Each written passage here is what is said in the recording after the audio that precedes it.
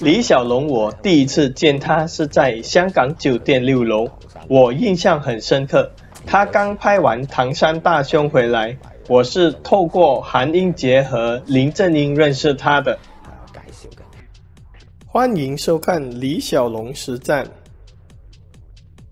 影片中的这个人名叫董伟，在李小龙一九七三年的电影《龙争虎斗》中，电影一开始有一个少林寺的少年向李小龙请教功夫，向李小龙踢了好几腿，但一直都踢不到他，还被李小龙狠狠地打了他的头一下。这位少年就是董伟。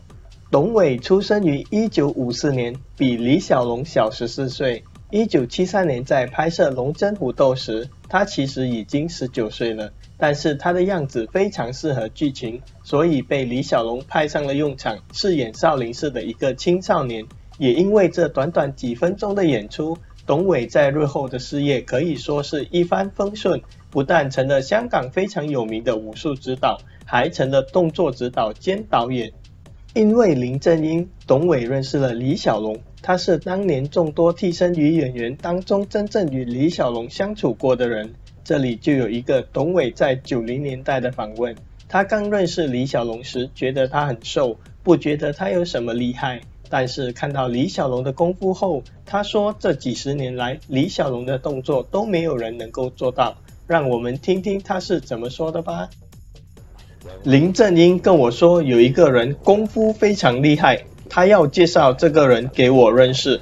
就在香港酒店六楼，我第一眼看到李小龙，他穿着一件蓝色的牛仔衣，里面穿着一件白色的内衣，一条牛仔裤，很瘦。他看起来很瘦，满脸胡须，还戴着一副 Ray Ban 的眼镜。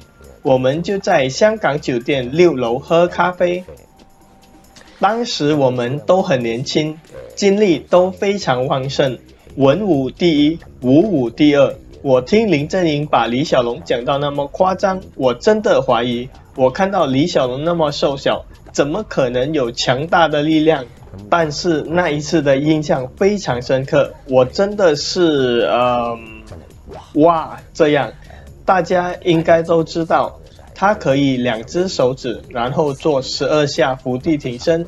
他脱了衣服后做了十二下的二指伏地挺身。他脱了衣服和穿着衣服简直就是判若两人。他的背阔肌可以伸展最少三寸半以上。